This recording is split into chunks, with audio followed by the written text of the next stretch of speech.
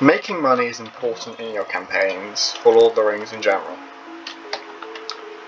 Um, I am currently on a first age um, world, although that doesn't matter. If you're on third age, normal Lord of the Rings, it's going to be exactly the same. Um, no difference, just I have slightly different people here, as you'll see, and you might not recognise them, but it doesn't matter, it works the same. So there are three main ways you usually would get money. The first is to kill someone, kill an orc. Um, some every now and again I'll drop a few coins.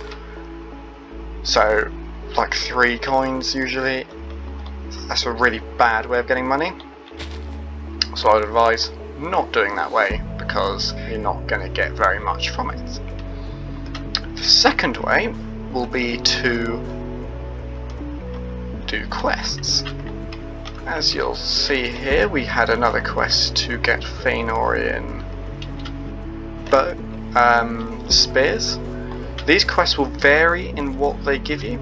So this one's to receive a single goal um, spear, and you get 25 coins from that, which is not that many, but it's it's some and they will increase in the amount of coins you get depending on how impressive the quest is. So the string, we will see what we get for that.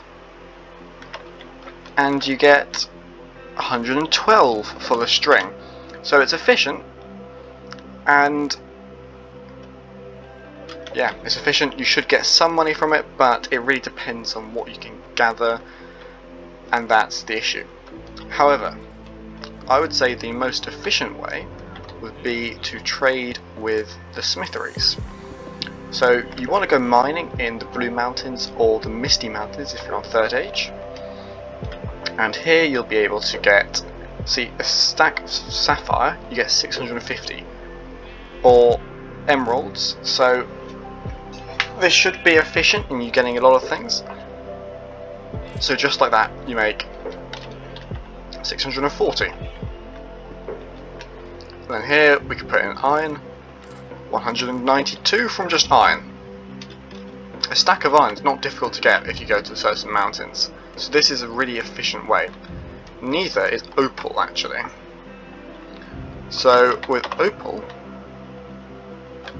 you will get 576. Emerald and Emerald and Gold, all very efficient things to get, and um, it should make you managing to get all this sort of stuff easier. Opal obviously varies in price, as does everything, so you'll want to go around these smitheries and see if you can find the best deal. So yeah, Sapphire is the same as it was over there, but the gold is more expensive, and significantly more expensive actually. Yeah, 15, and this is 17 over here. So you want to search for the best deals, and come back to them every now and again because you can max out in the amount of stuff you can sell. So that would be the most efficient way to get money. Now, there are a couple of other ways you can get money. One of those would be to kill, if you're on, this is only on your if you're on the first age mod. If you kill the Balrog, you get 900 gold coins. Um, other than that, I can't think of any others, but if you can, put it in the comments. Thank you for watching this video. See you in the next one.